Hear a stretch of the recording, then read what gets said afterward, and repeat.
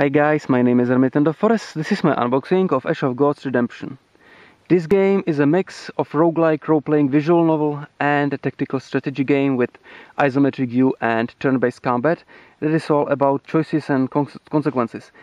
During the course of the game you make a lot of choices and each choice has impact on the future. You can even die in this game or sacrifice yourself and that doesn't mean game over, just it um, influences the future events.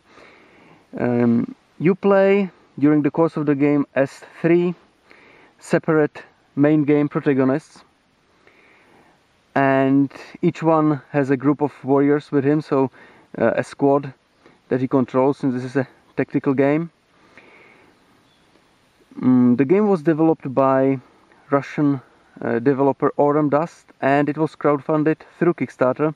Although this is not a Kickstarter release, there were some physical rewards available, however not uh, a game box. This is a regular um, DVD uh, case release of the game that was published in Europe.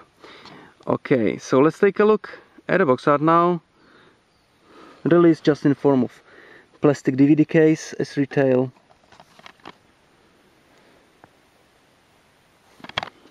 okay. On the back side we can see some pictures from the game and text about the game.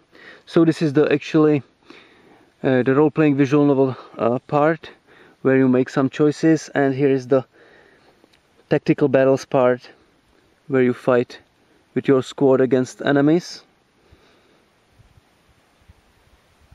Okay. If I open the DVD case inside first of all there is the game itself on a DVD and then there is just a leaflet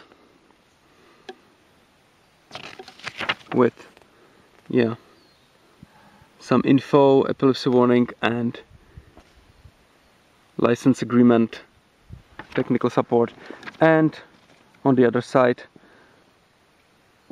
on the back side of this leaflet there is a activation code for Steam. Okay, and that is all. That was part of this DVD case release.